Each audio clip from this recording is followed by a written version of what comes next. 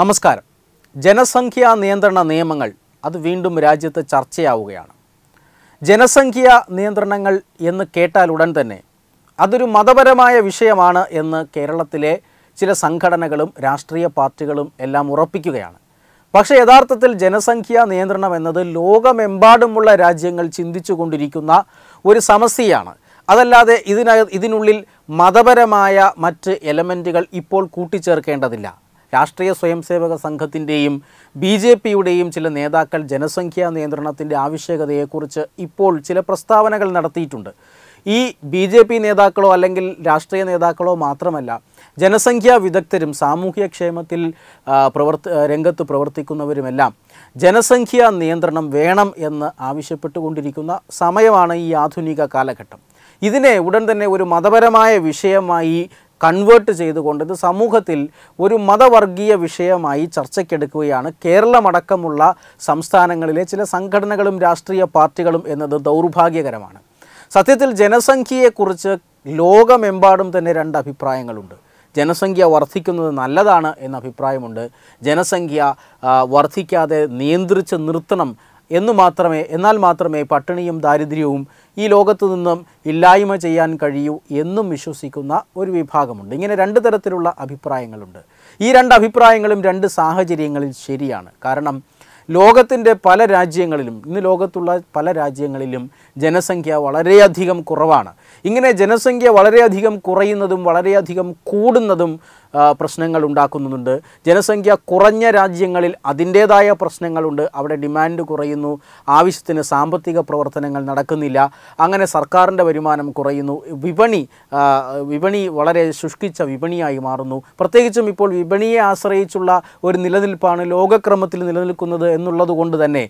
പലപ്പോഴും വിപണി ശുഷ്കമാകുന്നത് ശോഷിച്ച ഒരു ജനസംഖ്യ കാരണമാണ്. അവർക്ക് അതുകൊണ്ട് തന്നെ മനുഷ്യ വിഭവശേഷി പല രാജ്യങ്ങൾക്കും ലഭിക്കുന്നില്ല. അവർ കുടിയേറ്റത്തെ പ്രോത്സാഹിപ്പിക്കുന്നു. മറ്റു രാജ്യങ്ങളിൽ നിന്നും വിദഗ്ധരെ സ്വന്തം രാജ്യത്തിലേക്ക് കൊണ്ടുവരാൻ ശ്രമിക്കുന്നു. അങ്ങനെയുള്ള പല രാജ്യങ്ങളും ഓസ്ട്രേലിയ കാനഡ ജപ്പാൻ തുടങ്ങിയ രാജ്യങ്ങൾ ഇവിടെ ഇത്തരം രാജ്യങ്ങളിലെല്ലാം ജനസംഖ്യ കുറവാണ് എന്നത് ഒരു സമസ്യയായി അവർ നേരിടുന്ന ഒരു പ്രശ്നമാണ്. ഇവിടങ്ങളിൽ അവർ ദമ്പതിമാരോട് ജനസംഖ്യ വർദ്ധിപ്പിക്കേണ്ടതിന്റെ ആവശ്യകത കൂടുതൽ കുട്ടികൾ ഉണ്ടാകേണ്ടതിന്റെ ആവശ്യകതയെല്ലാം പറയുന്നുണ്ടെന്ന് മാത്രമല്ല കുട്ടികൾക്ക് പലതരത്തിലുള്ള സൗജന്യങ്ങളും കുട്ടികളുടെ വിദ്യാഭ്യാസ ആരോഗ്യ ചെലവുകൾ ഏറ്റെടുക്കൽ എന്നിങ്ങനെയുള്ള ഇൻസെന്റീവുകളും ജനങ്ങൾക്ക് നൽകാറുണ്ട്. പക്ഷേ ജനസംഖ്യ കൂടിയ രാജ്യങ്ങൾ ഇന്ത്യ ചൈന പോലുള്ള രാജ്യങ്ങൾ അവിടെ സ്ഥിതി വളരെയധികം വ്യത്യസ്തമാണ്. അവിടെ വിഭവങ്ങൾ കുറവാണ്. പക്ഷേ ജനസംഖ്യ കൂടുമ്പോൾ പട്ടിണിയും ദാരിദ്ര്യവും വർദ്ധിക്കുന്നു. ഇത്തരത്തിലുള്ള പല സമസ്യകളും ഇന്ത്യയും ചൈനയിലുമുണ്ട്. ഇന്ത്യയെയും ചൈനയും സംബന്ധിച്ചിടത്തോളം ലോക ജനസംഖ്യയുടെ ഒരു വലിയ ഭാഗം ഈ രണ്ട് രാജ്യങ്ങളിലുമാണ്. അതുകൊണ്ട് തന്നെ ഇന്ത്യയുടെയും ചൈനയുടെയും സ്ഥിതിഗതികൾ ജനസംഖ്യാ നിയന്ത്രണം തമ്മിലുള്ള കാഴ്ചപ്പാടുകൾ ലോകത്തിന്റെ പല രാജ്യങ്ങളിൽ നിന്നും വ്യത്യസ്തമാണ്. ചൈനയിൽ വളരെ കർക്കശമായ നിയമങ്ങൾ തന്നെയുണ്ട് ജനസംഖ്യാ നിയന്ത്രണം സംബന്ധിച്ച്. പക്ഷേ ചൈനയും ഇന്ത്യയും തമ്മിലുള്ള ജനസംഖ്യ വള ജനസംഖ്യയുടെ വ്യത്യാസം അത് വളരെയധികം നേർത്തതാണ്. നൂറ്റി നാൽപ്പതിലധികം കോടി ജനസംഖ്യയാണ് ചൈനയിലുള്ളതെങ്കിൽ നൂറ്റി മുപ്പതോളം ജനസ കോടി ജനസംഖ്യ ഇന്ത്യക്കുമുണ്ട്. എപ്പോൾ വേണമെങ്കിലും ഇന്ത്യയ്ക്ക് ചൈനയെ ജനസംഖ്യയിൽ മറികടക്കാവുന്നതേ ഉള്ളൂ. ആ സാഹചര്യത്തിൽ തീർച്ചയായും ഇപ്പോഴും ഇന്ത്യയിൽ ജനസംഖ്യ നിയന്ത്രിക്കുന്നതിനാവശ്യമായ കർശനമായ നിയന്ത്രണങ്ങളില്ല. നമ്മളിപ്പോഴും ദമ്പതിമാരെ ഉപദേശിക്കുന്നുണ്ട്. നാം രണ്ട് നമുക്ക് രണ്ട് നാം ഒന്ന് നമുക്കൊന്ന്. ഇത്തരത്തിലുള്ള ഉപദേശങ്ങളും ബോധവൽക്കരണങ്ങളും മാത്രമാണ് ഇന്ത്യയിൽ നടക്കുന്നത്. പലപ്പോഴും ഇന്ത്യൻ സമൂഹം മറ്റ് ലോകരാഷ്ട്രങ്ങളിലെ അപേക്ഷിച്ച് വളരെയധികം പക്വതയാർന്ന നിലപാട് സ്വീകരിക്കുന്ന ഇന്ത്യൻ ഇത് നമുക്ക് നമ്മൾ കാണാറുണ്ട്.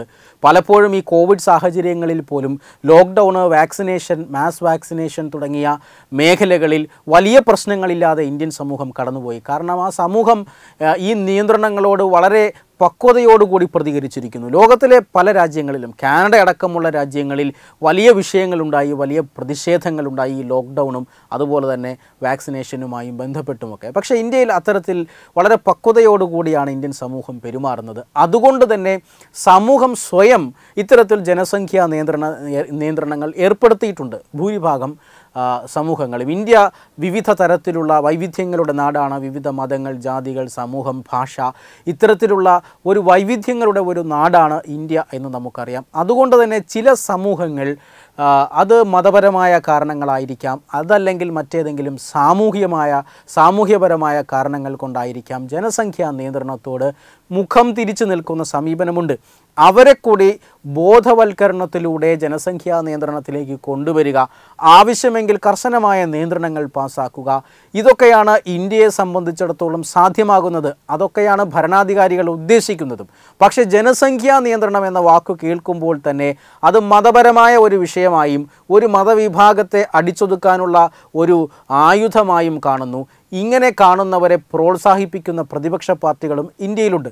അതുകൊണ്ട് തന്നെയാണ് ജനസംഖ്യാ നിയന്ത്രണം എന്ന ചിന്തയ്ക്ക് ഇന്ത്യ എപ്പോഴും ഒരു വിവാദ പരിവേഷം നൽകുന്നത്. പക്ഷേ ഇപ്പോൾ കാലഘട്ടം മാറിയിരിക്കുന്നു. സോഷ്യൽ മീഡിയ അടക്കമുള്ള സാങ്കേതിക വിദ്യയുടെ കാലഘട്ടമാണ്. അതുകൊണ്ട് തന്നെ യുവതലമുറ അടക്കമുള്ളവർ രാജ്യത്തിന്റെ വിഭവശേഷി നന്നായി ഉപയോഗിക്കുന്നതിനും രാജ്യത്ത് നിന്നും പട്ടിണിയും തൊഴിലില്ലായ്മയും നീക്കം ചെയ്തുകൊണ്ട് പുരോഗതിയിലേക്ക് നയിക്കണമെങ്കിൽ ജനസംഖ്യാ നിയന്ത്രണം അത്യാവശ്യമാണ് എന്ന ചിന്ത ഇന്ത്യയിൽ വളർന്നിട്ടുണ്ട്.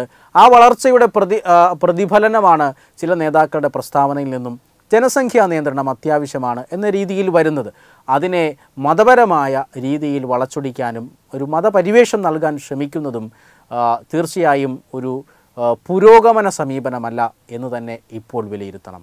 Web desk Tatwamayi news. Powered by Demos furniture ലോകോത്തര ഫർണിച്ചറുകളുടെ വമ്പൻ അൺലോക്ക്